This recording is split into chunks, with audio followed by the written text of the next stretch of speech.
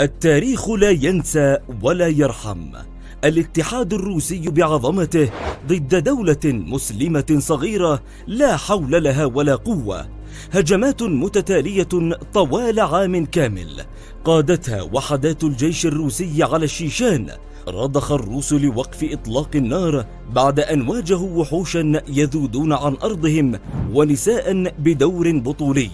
نساء لم يوقف جمالهن الساحر بطولاتهن وانتصاراتهن للدفاع عن الوطن.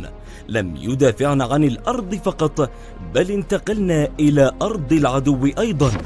ذهب الرئيس الروسي وجاء من بعده آخر حاملا نار الانتقام في صدره والدولة الصغيرة مغلوب على أمرها تدافع عن نفسها بإمكاناتها البسيطة ولكن بعزيمة تفتت الصخر وتهز الجبال.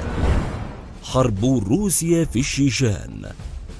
في القرن التاسع عشر وفي الحرب الأولى استطاع الاتحاد السوفيتي السيطرة على الشيشان وجعلها تحت وصايته. لكن ومع نهاية القرن العشرين أخذ الشيشانيون بثأرهم وطردوا المحتل السوفيتي خصوصا مع انشغاله بلملمة ما تبقى من الدولة عام 91 وخلال عام من الاستقلال دخلت الشيشان في حرب أهلية وانقسمت إلى قسمين حتى جاء عام 94 وعادت القوات الروسية إلى الشيشان لاستعادة النظام الدستوري. دارت معارك وحشية وقتال دام خلال عامين. قتل خلالها ما يصل إلى مئة ألف شخص ما أدى لوقف القتال وسحب روسيا لجنودها من جمهورية الشيشان جراء الخسائر الفادحة في الأرواح والعتاد. دخل الجيش الروسي إلى الشيشان عام 95 وارتكب مجازر بشعة. لقد وصلوا بجيش قوامه ثلاثين ألف مقاتل. لم يعد منهم سوى الآلاف. الحرب الثانية. عندما هدأت الحرب أوقدها فلاديمير بوتين إذ جاء منتقما وما وصوله للحكم إلا فرصة ليأخذ ثأر الجنود الروس وينتقم أشد انتقام من الشيشانيين الذين دافعوا عن أرضهم. فبوتين لا يهمه أكان على حق أو على باطل فالمهم أن يسترد كرامة دولته ولو على حساب دولة ضعيفة. دولة أصبحت النساء فيها تحتجز رهائن العدو. دولة كثرت فيها النساء المسلحات ليساعدن الرجال للدفاع عن الوطن. وقالت إحدى هؤلاء المسلحات في فيديو مسجل لا يهمنا إن متنا. لقد اخترنا أن نموت هنا في موسكو وسنأخذ معنا أرواح الكفار.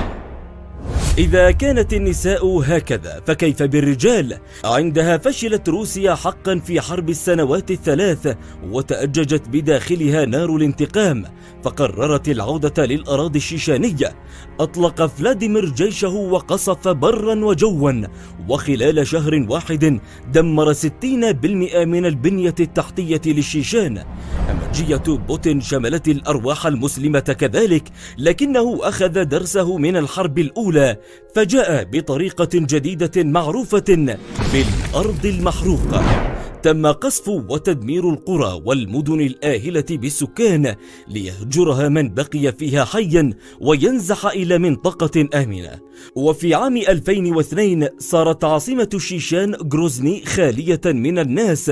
عندها دخل الجيش الروسي إلى العاصمة ورفع أعلامهم. وبين غارات متواصلة وسرق ونهب وقتل وتفجير وتدمير انتهت الحياة تماما في الشيشان. وقتل خلال هذه الفترة مئتا ألف شخص.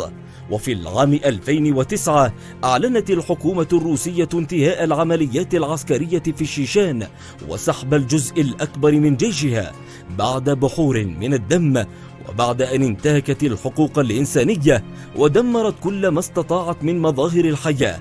لكن بالمقابل الشيشانيون لم يصمتوا وقتلوا الكثير من الجنود الروس بين عمليات انتحارية ومبان مفخخة وعمليات نوعية وكبدوا الروس خسائر بالغة وأعلنوا للعالم على الرغم من قلتهم وضعفهم بأنهم لن يتركوا حقهم وسيقاتلون حتى آخر رمق في سبيل الاستقلال وهو ما حدث.